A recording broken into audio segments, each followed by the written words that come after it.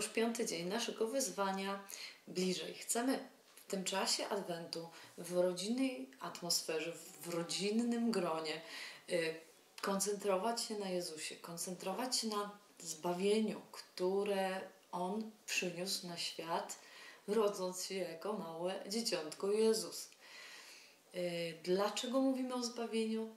Dlatego, że to jest y, centralna prawda naszej wiary i ona nie jest oderwana od Bożego Narodzenia. Ona jest ściśle z nim związana i nie byłoby Bożego Narodzenia, gdyby nie było potrzeby zbawienia nas. Więc, kochani, chcemy przeżywać radość Bożego Narodzenia w ścisłym powiązaniu z radością ze zbawienia. Ale żeby rozumieć bardziej e, to, kim jest Jezus i to, mm, czym jest zbawienie, musimy ten temat bardziej zgłębić. Dlatego, kochani, dzisiaj mamy piąty tytuł, tytuł Baranek Boży. I on jest zupełnie niebożonarodzeniowy, no chyba, że uznamy, że baranki były w, w, przy żłóbku, tak? Były przystające. Ale wiemy jako dorośli, że tu nie chodzi o baranka małego, słodkiego zwierzaczka, którym dzieci się pewnie zachwycają i kiedy dzieci słyszą baranek Boży, no to pewnie mają takie skojarzenia, ale my wiemy, że baranek był ofiarą i że jest tam bardzo duży ciężar właśnie pewnego okrucieństwa, yy, ofiary, ofiary krwi.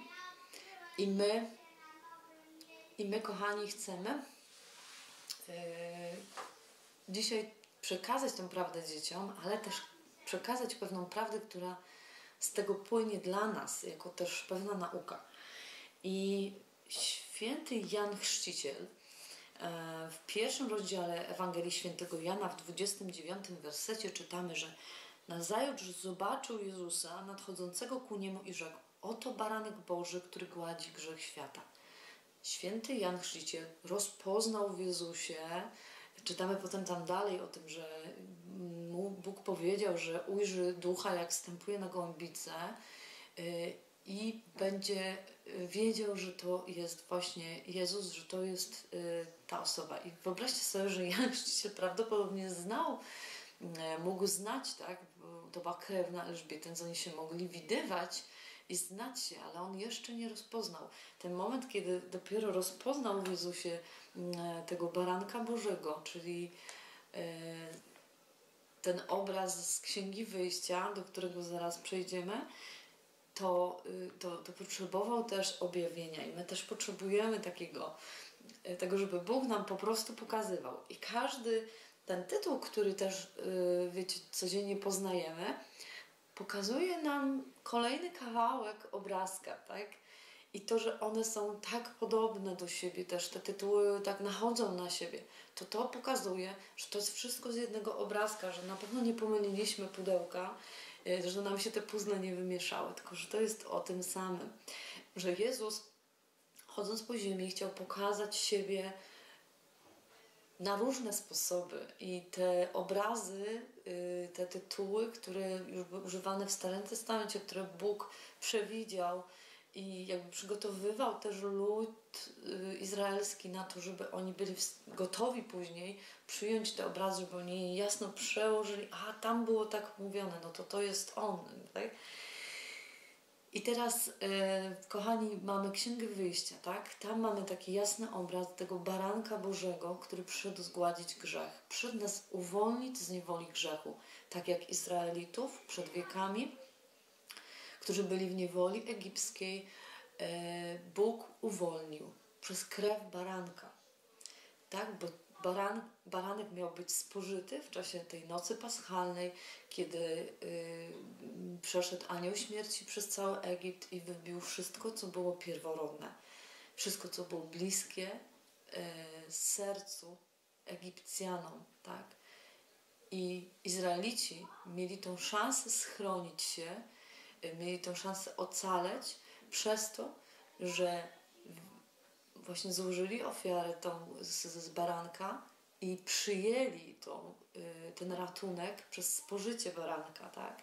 My dzisiaj nie musimy tego robić, ale przyjmujemy krew Jezusa, przyjmujemy Jego ofiarę przez to, że, yy, że przyjmujemy po prostu, tak? Też w czasie Eucharystii, to jest też piękne nawiązanie, ale które możemy starszym dzieciom, które już też yy, uczestniczą w, Eucharystii tak pe, w pełny sposób, że, że przyjmują ciało Pana Jezusa, ale przyjęcie Jezusa, powiedzenie tak, Panie Jezu, zapraszamy Ciebie, przyjmujemy Twoje zbawienie, jest, ono nas właśnie ochrania, tak? Ono nas wybawia, a nie inne rzeczy. I teraz, kochani, mamy w e, liście świętego Piotra pierwszym, też 18-19 werset, gdzie jest mowa o krwi baranka.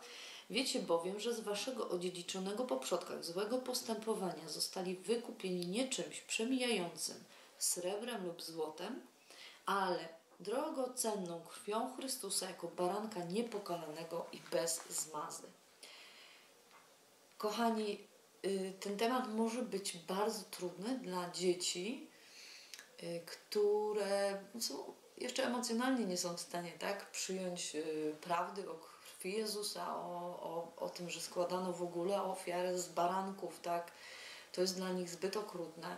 Więc y, ograniczcie się do tego, że po prostu baranek, y, który przyszedł zgładzić grzech świata i po prostu w taki sposób, jak wiecie, że nie naruszy tej emocjonalności waszych dzieci, tak, y, tak nie wystraszy ich, tylko, tylko je zbuduje. Y, Pan Bóg daje nam to, co jest najcenniejsze. To nie byłaby ofiara, gdyby nie właśnie to, że Bóg oddaje nie to, co mu zbywa, ale oddaje to, co jest dla niego najcenniejsze, to, co yy, w jego sercu po prostu będzie go to bolało. I dzisiaj, kochani, chciałabym poruszyć temat ofiarności i hojności i zachęcić Was do takiego yy, rodzinnego zadania. Zadania też bardzo jednoczą rodzinę. Znajdźcie jakiś cel, na który możecie wpłacić pieniądze w ramach jałmużny adwentowej, gdzie popatrzycie na to, ile możecie dać. Zapytajcie każdego z członków rodziny. Dzieci mają już jakieś swoje pieniądze, czym się chcą podzielić, a może jest ktoś z sąsiedztwa, ktoś z waszej okolicy, ktoś z waszej rodziny, kto potrzebuje yy, właśnie waszej ofiarności i waszej hojności.